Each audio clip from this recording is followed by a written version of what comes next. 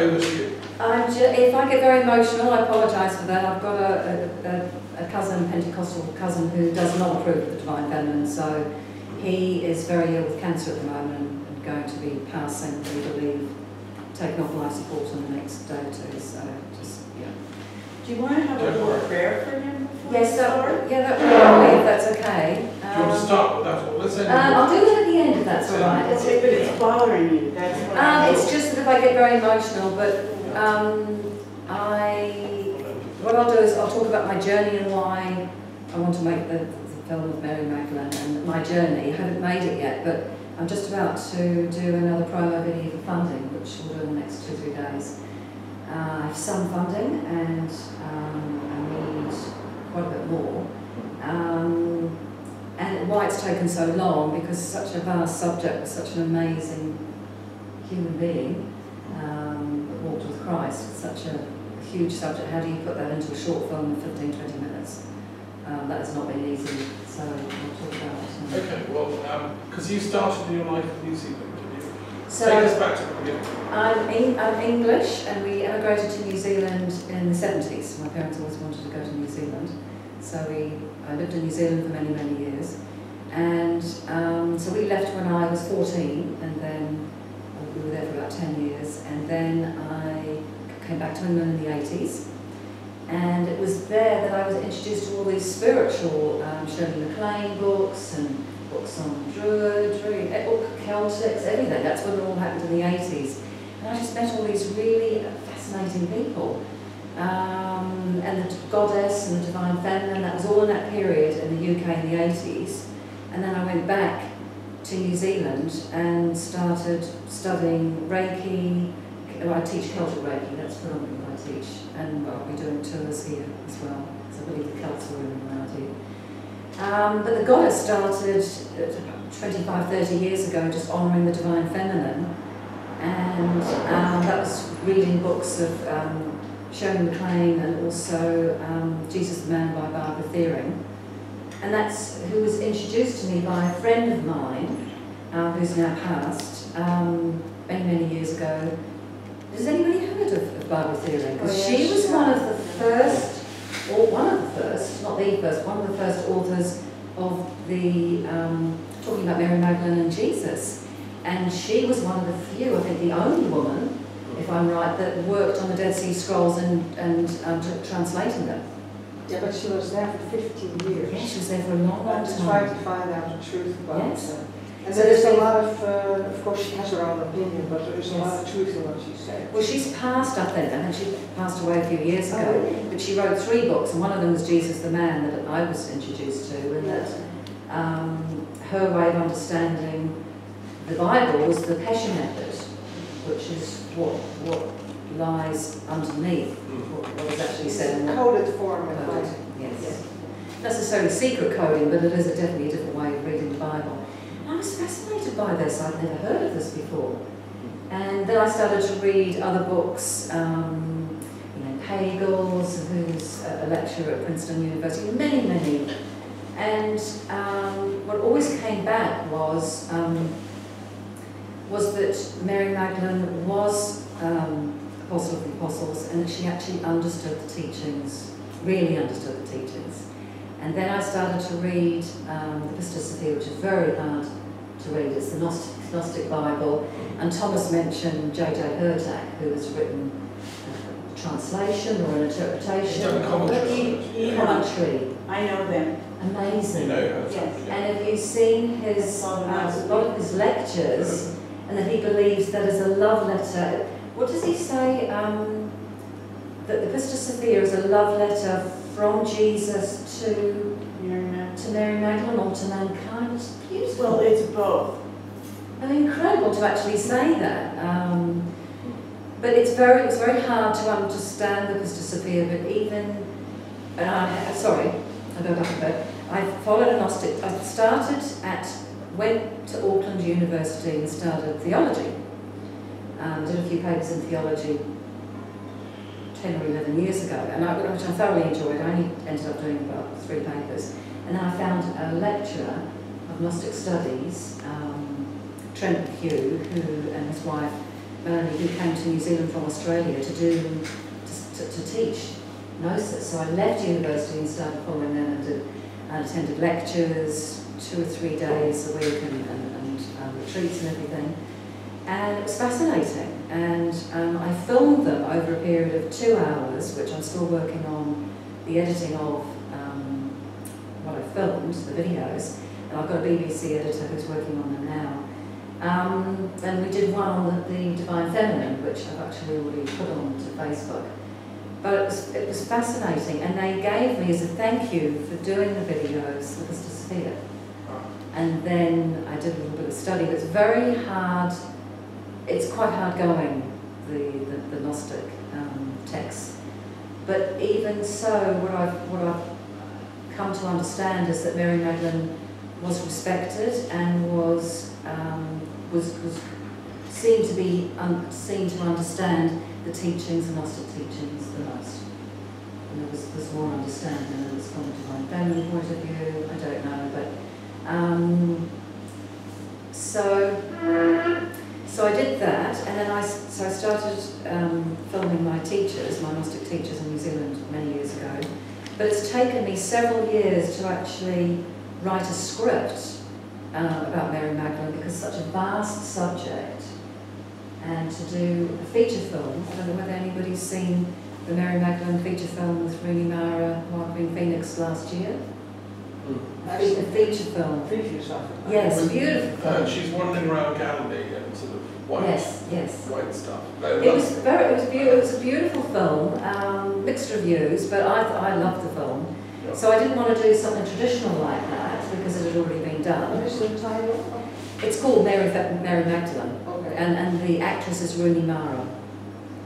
And um, so what I've done is, after this is my fourth script I'm working on now,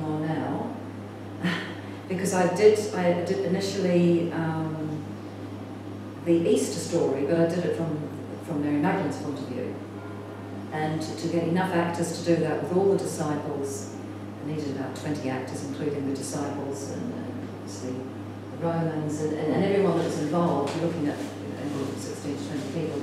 And then I was looking at a lot of funding for that, so I gave up on that. So now I'm focused on a young woman. It's a modern day story of a young woman called Sarah. And there are controversial stories that Sarah is the daughter of Jesus and Magdalene. I'm not necessarily saying that is or not, but it's a young woman who comes to France on holiday and finds a spiritual group of women that are teaching the divine feminine.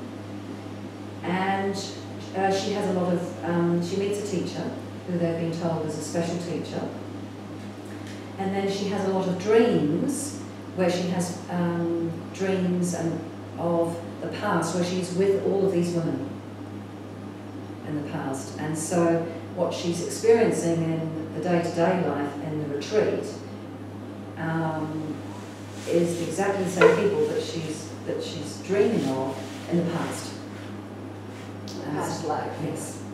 So it's, that's where I'm at, and, and but the challenge of that is still trying to do that within 20 minutes with enough funding, with actors, and I have actors, I have director of photography and I have an editor, but it's still trying to sort of get enough funding to pay professionals, people that, that I respect, that, that, that want to work on it, that want to be paid accordingly, of course, and trying to, um, uh, you know, I'm limited with time, so that's been my challenge, I'm getting there slowly. So what's the timeline? When would you? I'd like to shoot at the end of September, beginning of October, and I know I'm pushing that, but I've got everyone, I have actors in place, I have a, um, an editor, and a director of photography and a sound person, and I have a producer that's worked um, as a music composer in Hollywood that's, that's been helping me a little, and I also have another lady that I've just connected with on Facebook who is a producer of a um, Hollywood Christian film who said, look, I can start, I'm not so busy at the moment, I can start working with you and giving you some backup, you know, some support. But again, it's a short film, so I could shoot in five days. I have everyone in place. There's still one or two actors I need, but the director of photography work, has worked on a fantasy film recently, so I have a beautiful Jesus that I'm going to be meeting in the next week or two. So all of these things have just come into place. Um, I just need just a few more thousand to be able to pay everyone. I don't pay myself as a director, but everyone else needs to be paid. And then shoot um, in this area. And one of the scenes, one of the ritual scenes involving Jesus would be for me in one of the Cathar castles. So that's why I asked. That was one of the reasons why I asked because a lot of people are quite adamant no that Cathars has got nothing to do with Mary Magdalene. Yes. Christian. Well. And I thought, well, that's so this this mixed reviews with with um, the Da Vinci Code, and, and you know, there's, there's, there's the controversy on both sides, but intuitively, um, because in the film, the teacher is Mary Magdalene, and Sarah finds this out at the end that it is actually Mary Magdalene from um, statues and paintings, and listening to a tour guide talk at the end, she says, "Oh, that's the teacher." So it's like she's she's channeling. But she doesn't meet her in this life. She's She does meet her in this life, but she meets her through someone else. But but but, but, but, but she's channeling Mary Magdalene. Right. So you don't need a Mary Magdalene actress. I've got three I'm talking to at the moment. Oh, you do want. But if, but but if yes, Okay. yes, So she will have a part. yes, definitely. But it, the challenge has been how do you fit all of that in But in 20 minutes? can I ask a question? Yes, absolutely. Um, why why limit it to 20 minutes? This script sounds amazing. Why can't it be at least an hour? Money. Nicola made a film about Druids. It's an hour long. You Um, money. Yeah, it's- You're looking at, to shoot um, something that's around 15, 20 minutes, you're looking around about um, five day shoot know. and um, the funding is usually, I'm, I'm basing it on funding of around 15,000, Fifteen. How much have you got so far? about five. Hello! Hi! Okay. So But I'd love to do more, and, and, and intuitively I felt when I was speaking to my director of photography, and, and he and he's just sort of looking at me because he he's professional. He's just worked on a fantasy film. Him, um, and he is a professional. Working with a sound person, you're looking at five hundred a day. Then you're looking at paying producer. Then you've got the editor, and then you've got the Yes. actors. So fifteen will not last. I produced quite a bit in America. Um, got some, you know, I'm kind of connected to Steven Spielberg.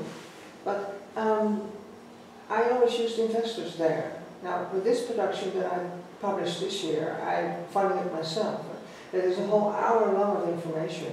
Because what you see in the stores, like is saying, it's all 20 minutes, a DVD of 30 minutes, or Yeah. and mine is uh, chock full of information, and then a whole hour full of uh, things, uh, and beautiful music in it. But I used to uh, have investors uh, in America um, um, connected with promotion companies. I had, I, I wanted to stay in control of my own publishing. That's what. I'm doing because you I have have spoken to promotion producers who said companies, less. You could give a part, yeah. and then you can pay the investors you, back. you two ought to talk together. We will, Over we will. lunch. We've spoken. Have you met before? Yes, we can briefly, yeah. Yeah, very briefly, Yes. yeah, very briefly. yeah, we have to get you to come. But there's a Um, producer I'm talking to in Hollywood who said, look, if you do need more, we can, we can talk. Um, it's, what tends to happen, because I'm a, a member of Women in Film and Television in England, is that um, the producers I have spoken to have said, well, look, let my production company manage it, and then I might let you direct or I might not. So it's easier to have something that's smaller, that, That that, can keep control. that I can keep control of, then, then pass it over and then they change it all, and it's not really the divine feminine, it's something else. Sure. So is it just like brainstorming on this? Um, is it? Um, it's not a documentary. It's a It's not a fiction. documentary, it's a fiction, it's a It's drama, more- It's a short fiction. It's a short fiction about a young woman who finds the divine feminine through a group of women. Now, these women have a um, teachings that have, that have come from the first century. So these are special teachings. I'm not saying it's Pistis Sophia, but they are teachings, original teachings, esoteric teachings about the divine feminine Yes. um, to bring balance. And if you make the 20 minute film, then it might be Yes, leading to a longer one. exactly. Because it's, it's such a nice idea. I think it should be like at least a full Well, it is film. very nice. So that is an, an op- that is, that, that is definitely an option that we, we say, can we expand and then we've got the actors in place and everything's in place, and then we just expand from the story. And we've got everybody in place then. you just have to think of how much money the movie can accumulate and how you are going to do that. If you have an investor, I'm lucky I've got a can pay them distribution person in London that's very helpful. I used So to pay my lucky. investors back just within Yeah. two months because I published my productions in Christmas season in America. It's huge. I mean, I would sell thousands of these That's a good in, idea. in Christmas season, and I, in January I could pay the investor Yeah. back. Oh, like DVDs, you were making DVDs? Uh, yeah, CDs and uh, lectures on CD and, and audio booklets and things like that. I'm also talking to a lot of authors of Mary Magdalene books, uh, a few that I've been talking to and lecturers that have said, um, uh, you know, give me some more information and so forth, and they're open to talking to move to a little bit of funding. I'm doing crowdfunding, which will go online and Facebook by the end of the week as well. Can I ask a s- basic question? Yeah. Like, what's your filmography to date? What have you done so far? I, That's no, no, that's question. good, good question. I, 14 years ago, went to film school and I made a short film, um, which was quite an unusual short film about um, somebody that wanted to try and change their past um, in a dream. So it was a dream sequence of a woman that was in a quite a, uh, a negative um, relationship. By in the dream, she was trying to change, if that makes any sense, she was trying to change the past by meditation and doing spiritual things. And that won an award for best at the film school, best actress, and it was nominated for best film. And then I made um, a few documentaries. I worked with two very successful directors in New Zealand. I did a lot of sales and marketing, and then I would um, I worked on Honda and Air New Zealand and a few corporate videos where I brought the business in, and then I was a production assistant and helped write with, with the directors. Um, and that was a very interesting experience because both of them were quite different. One of the directors really didn't want me on the set at all, and the other was very open because because I brought the business in and I'd met the clients, they were comfortable talking to me, and so there was any issues, they were just relaxed talking to me rather than the director, and it, was it was interesting. And then I made um, lots of documentary, not documentaries, but films. I, shot my Gnostic teacher, teachers um, on Gnosis, and I've probably got about two hours of footage, and I'm now working on the fourth video edit, which I'm getting done in London now. And I've written a few short films, but so it's predominantly short films, documentaries, Gnosis, and corporate. That's my background. Well, it's pretty impressive. Well, I don't know if that's impressive, but, Well, no, but I mean, it's, but for can- making a short film, I've got some experience. Yeah, yes. you can. A feature It's not like film. you're coming at it as a virgin. Yeah. So the feature film would I would I would probably get an executive producer on board that's that's worked in the industry hmm. if I was doing a feature. But for the short, I think I've got enough experience. Because another way of doing it is to work with a film school that's training filmmakers, because they will volunteer. I've got a very dear friend that worked on a short film that I made in London about a couple that were trying to connect, but it was what they were saying, not what, what they were thinking, not what they were saying. And it was a, a man's point of view and a woman's point of view, and that was interesting. And there was a few people involved in that that are now connecting me to other people through schools in London, which has been fantastic. And they're doing really, and they'll come out and help me as well. Well. I, mean, the Mary Magdalene Studies Association is at your service. We, we Oh, have, thank you. you know, there's a network of people. I'm trying to work on a newsletter for us. And your question about is it factual that the Cathars thought they were a couple and if There's so, so much controversy, evidence? different schools of Well, thought, well, isn't I'll there? get back to you. Yeah, no, thank you. That's I work appreciate that. If people have evidence about that, That's why they were so please put me in touch. prosecuted, is because the Catholic Church knew that they held the truth about Mary Magdalene and Jesus. And mm. they were for their own gain and their members and the, the, the power that they looked in for looked for in the church, they were horrified that this all came out and that they would lose their face and had to pick up and uh, pack up and, and their bags and, and leave. And that's what that's why they were so hugely murdered out by the cat. You know, But But that raises some philosophical questions. Why would anyone be against love and marriage? And if it's true that Jesus and Mary Magdalene were lovers, so what? I mean, it's a beautiful story. It, It's, a beautiful Great story, story and. Jesus could not have thought, taught in, in, in, in, uh, in the places where in Israel where he was teaching. Hmm? Yeah, that was the Uh, point that pedagogues. Adam was making. Yes, yeah, if he was qualified as a actually rabbi. not married, and, and Jesus was also coming from a real royal family, he had a royal Oh, of course, And Mary Magdalene came from two. yes. And uh, the only controversy in the story is for the Jews is that Mary Magdalene was not Jewish. Yeah, she was an Israeli princess, a duchess, actually. Not from the tribe of Judah, she was from another lineage within the Israeli. Yes, in tribes. the Israeli But tribe. that's a good thing. But yeah, For modern Israel, they're supposed to be not just Israel, Judah, yes.